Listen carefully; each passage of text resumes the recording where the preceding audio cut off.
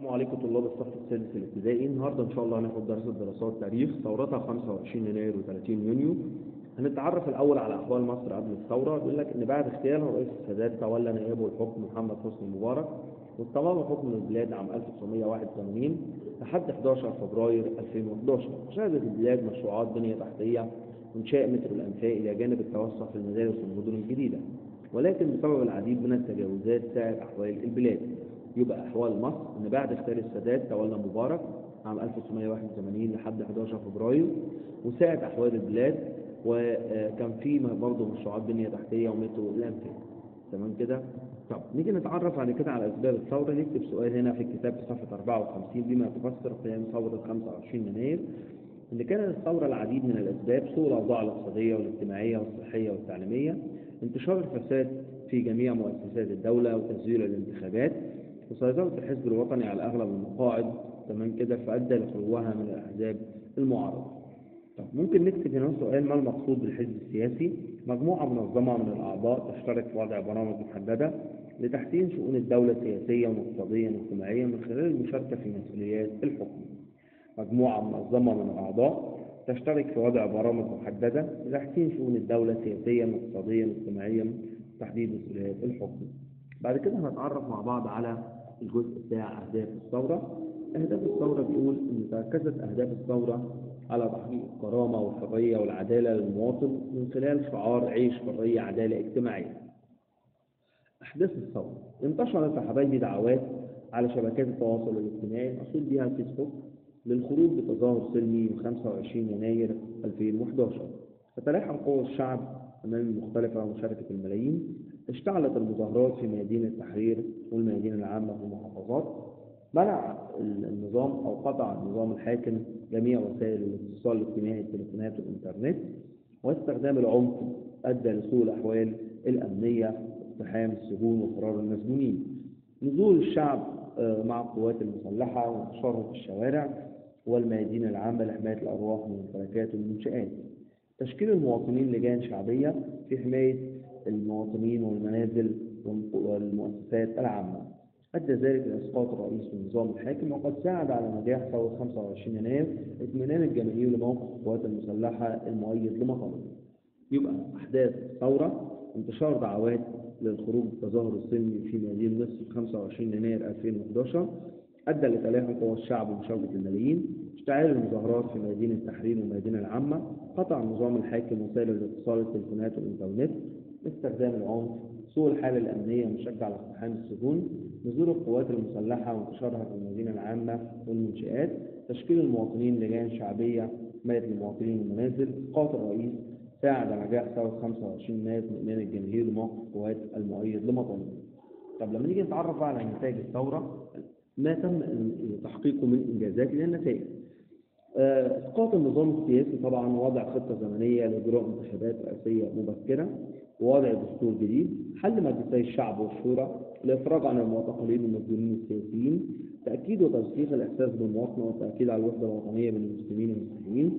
ارتفاع الوعي السياسي لدى الشعب والمطالبة بحقوقه نتيجة عدم تحسن الأحوال بعد تولي محمد مرسي لما الشعب أقام ثورة ثانية 30 يونيو عام 2013 يبقى ممكن نكتب هنا سؤال ما النتائج المترتبة على ثورة 25 يناير إسقاط النظام السياسي وضع خطة زمنية لإجراء انتخابات رئاسية مبكرة حل مجلس الشعب والشورى الإفراج عن المعتقلين السياسيين والمسجونين تأكيد وترسيخ الإحساس بالمواطنة ارتفاع الوعي السياسي لدى الشعب نتيجة لعدم تحسن الأحوال أدى لقيام ثورة 30 يونيو عام 2013 طب لما نيجي نتعرف بقى حبايبي على أسباب ثورة 30 يونيو اولا استمرار سوء الأحوال الاقتصادية والاجتماعية. لم تقدم السياسات الجديدة حلولا للمشكلات اللي بيعاني منها الشعب ازدياد الأصوات المعارضة والمطالبه بإجراء انتخابات رئاسية مبكرة.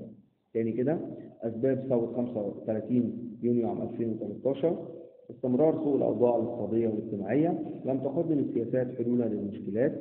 ازدياد الأصوات المعارضة للحكم والمطالبه بإجراء انتخابات رئاسية مبكرة. طب أحداث ثورة 25 يناير تزايدت أعداد المعارضين وقامت المظاهرات وحدثت اشتباكات بين المؤيدين والمعارضين لمحمد مرسي وتدخلت القوات المسلحة حفاظا على الأمن ودعت لقيام مصالحة حقيقية بين الرئيس والمعارضة خلال أسبوع. رفض الرئيس الموافقة على إجراء انتخابات رئاسية مبكرة كما رفض المعارضة رفضت المعارضة دعوته للحوار. تجمعت أعداد هائلة من الشعب في الميادين والشوارع يوم 30 يونيو مطالبة بالتغيير.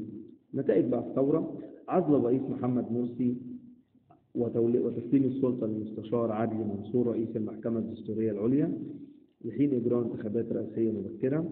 تعديل دستور 2012 وصدور دستور يناير 2014 عقد انتخابات الرئاسة وفوز المرشح عبد الفتاح السيسي.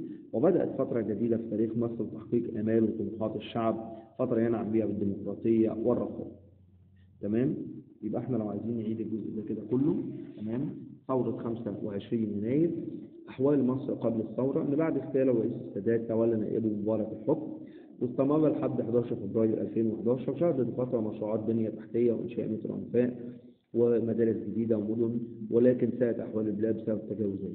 أسباب 25 يناير سوء الأوضاع الاقتصادية والاجتماعية والتعليمية والصحية انتشار الفساد تزوير الانتخابات سيطرة الحزب الوطني فأدى لخلوها من المعارضة. طب يعني إيه حزب سياسي؟ مجموعة منظمة من الأعضاء تشترك في وضع برامج تحسين شؤون الدولة السياسية والاقتصادية. أهداف الثورة ما أهداف الثورة؟ تركزت أهداف الثورة الكرامة والحرية والعدالة وعيش حرية عدالة.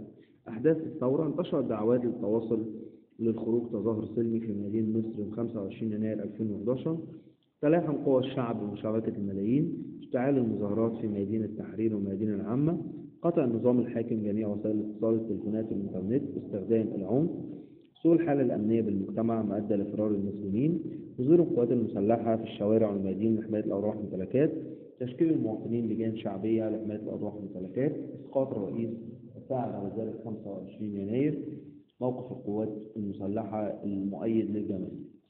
طب ما تم تحقيقه من الإنجازات؟ إسقاط النظام السياسي وضع خطة زمنية لإجراء انتخابات مبكرة، حل مجلس الشعب والشورى، إفراج عن المعتقلين، ترسيخ وتأكيد الإحساس بالمواطنة، ارتفاع الوعي السياسي، ولكن نتيجة لعدم تحسن الأحوال أبدأ قيام ثورة 30 يونيو. أسباب الثورة استمرار الأوضاع من السياسات لم تقدم حلول، زاد الأصوات المعارضة والمطالبة بإجراء انتخابات مبكرة. تزايدت أعداد المعارضين المطالبة بانتخابات آه، المظاهرات وحدثت اشتباكات بين المؤيدين والمعارضين بعد كده دخلت القوات المسلحة أدى لقيام مصالحة حقيقية بين الرئيس والمعارضة خلال أسبوع. بعد كده رفض الرئيس الموافقة على إجراء انتخابات رئاسية مبكرة تجمعت أعداد في الشوارع والميادين أدى لثورة 30 يونيو. آه، نتائج الثورة عزل الرئيس محمد مرسي وتسليم السلطة للمستشار عدلي منصور رئيس المحكمة الدستورية العليا لحين إجراء انتخابات مبكرة. تعديل دستور 2012 وصدور دستور 2014 وعقد انتخابات الرئاسة بدأت فترة جديدة تحقيق آمال الجمهور شكرا. كده يبقى خلص التاريخ.